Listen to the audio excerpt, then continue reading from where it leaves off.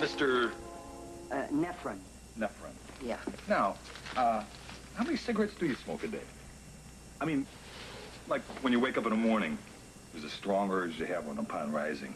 Very early in the morning, no matter what time. Sometimes people get up at all hours of the morning. They have, they've got to have that first cigarette of the day. That's me. Yeah. Then, probably during breakfast, you may have, whether it's not a big breakfast or anything, uh, certainly, most certainly you have coffee probably in the morning and you're reading the paper.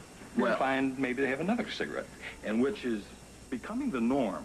People are breaking in the mid-morning for supposedly a coffee break, and it's become a smoking break. Yeah, well- Then, in, are you, do you observe sports oh, on oh. TV or in person? That is another time. People just get all tied up into the game and following it so closely they have that something to satisfy that urge of tobacco, and they have another cigarette. Like, how many cigarettes do you smoke a day? I'd say five, five, about five packs a day. Five packs? Are you nuts or what?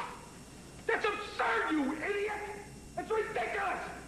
And you'll never do that again! Well, how will you arrange that? Like this! This